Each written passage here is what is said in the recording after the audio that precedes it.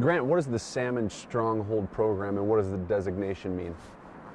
Well, basically, the, the concept is um, the need for key stronghold basins throughout the Pacific Rim, where it's kind of the, the best and strongest populations we have, the most secure watersheds, to guarantee in the long term we sustain wild populations.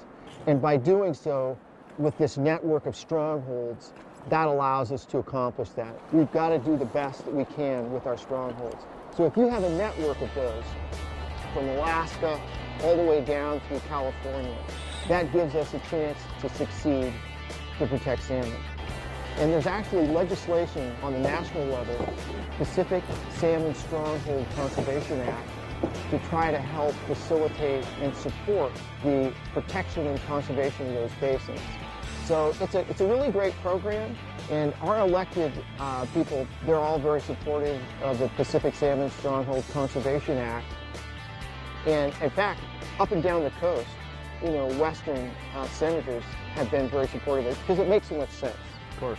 You know, what you're getting at with the Stronghold program is that if you've got a few of these rivers that still have great populations of wild salmon, there's a chance for other rivers that we've exactly. messed up. Exactly. And that's, you're using, we're using nature's way Right. of recovering basins.